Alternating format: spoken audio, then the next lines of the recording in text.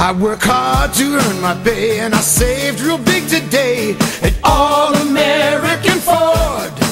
When you buy from number one, the savings have begun at All American Ford.